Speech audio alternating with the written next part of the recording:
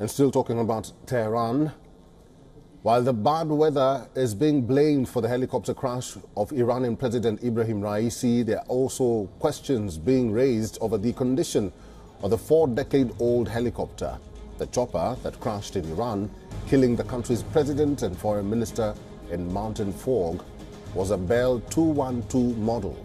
Now, the former Iranian foreign minister, Mohammad Javad Zarif, has blamed U.S. sanctions on aviation parts for the crash of the helicopter. The charge was leveled in an interview with state television. Zarif said the sanctions compromise Iran's access to modern aviation facilities. The Bell 212 entered service in 1968. Tehran bought a number of the helicopters in the 1970s when the Shah of Iran, a close U.S. ally, ruled the country. Iran continues to use many of its U.S. aircraft, including advanced jet fighters, but faces difficulties obtaining spare parts due to American sanctions.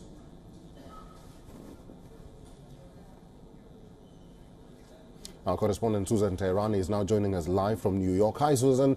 How is the U.S. viewing the news of the death of the Iranian president since a former Iranian foreign uh, minister has put the blame on U.S. sanctions that he says have barred Iran from procuring essential aviation parts?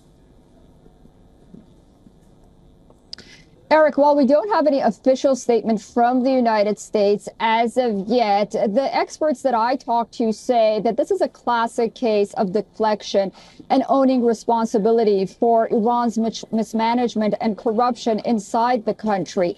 Iran has a long history of neglecting safety standards on the one hand and also prioritizing military spending over civilian needs on the other it's safe to say that uh, during the JCPOA talks, the Iran nuclear talks, Iran was offered sanctions relief for its civilian aviation industry and received millions of dollars, a plane load of cash from President Obama.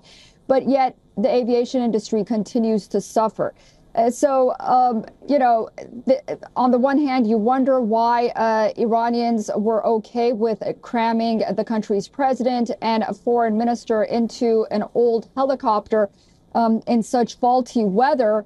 Uh, but on the other, it was no surprise that Iranian officials would ultimately somehow blame the United States, uh, or it was expected to blame Israel uh, for this tragic incident. All right, Susan Teherani, live in New York. She's our correspondent there. Thank you, Susan. For all the latest news, download the WION app and subscribe to our YouTube channel.